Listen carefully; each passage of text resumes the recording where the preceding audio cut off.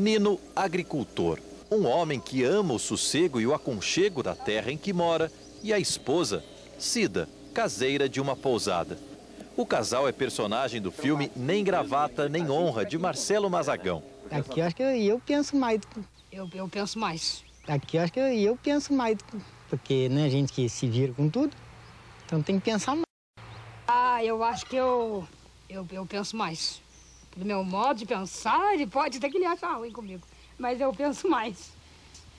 O filme estreia este mês na capital e mostra o depoimento de alguns dos 23 mil moradores de Cunha. O tema é o relacionamento amoroso entre as pessoas. Aí vocês contaram o dia a dia de O vocês. dia a dia de nós, da casa. Até a intimidade de vocês. Isso nós não contamos, né? Como metade da população da cidade, Nino e Cida moram na zona rural. Eles estão casados há 17 anos e conservam hábitos antigos. Problema de galinha, essas coisas, é ela que entende. Eu, Eu não que vou vender uma falou que galinha, não? que eu não sei qual milho, né? pode vender, né? Agora, no outro problema, se for preciso vender um bezerro, ou vender um burro, um animal que eu tenho, aí é comigo. Aí é eu que vou resolver. Então o marido tem que mandar mais um pouco do que a mulher. Cida, mesmo na roça, acompanha as mudanças do papel da mulher na sociedade. Na verdade, eu, eu agora, uns tempos pra cá, até eu falo pra ele, a mulher também depende bastante, né? Ela faz as coisas, independente do marido. Eu trabalho, né? Dou as coisas pros meus filhos, que eu posso fazer, eu faço, eu ajudo ele, porque a gente vai ajudar um outro, né? Eles ainda não assistiram ao filme que estrelaram. Será que a gente vai ver? Eu quero ver que jeito Eu tinha vontade de ver o bolo. Vocês já foram no cinema alguma vez? Nunca fui da minha vida, nunca, nem sei contar pra você o jeito que é. O filme também tem personagens da cidade, como Cidinha, conhecida doceira. Os doces que ela faz e o depoimento dela vão parar na tela do cinema. Nem assim ela perdeu a timidez. Você é a doceira da cidade?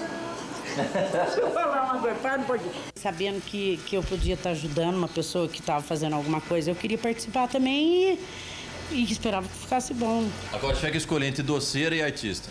Doceira, com certeza. Arrancar depoimentos sobre a vida amorosa dos moradores não deve ter sido fácil para os produtores do filme, ainda mais numa cidade pequena como Cunha. Mas foi assim, caminhando pelas ruas, que eles escutaram uma música romântica no ar e descobriram, numa barbearia, um amante à moda antiga. Entre um corte e outro, Chiquinho aproveita para se embalar com músicas calientes.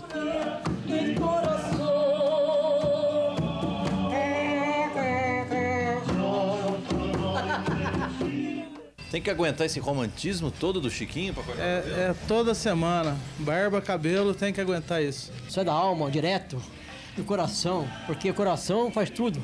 Tudo que eu tenho é do coração que sai, diretamente, porque o que eu faço é de, de, de boa vontade, de prazer. A riqueza de imagens e de personagens em Cunha dispensa cenários e artistas. Infelizmente, o povo da terra não dá o valor que eu preciso ter.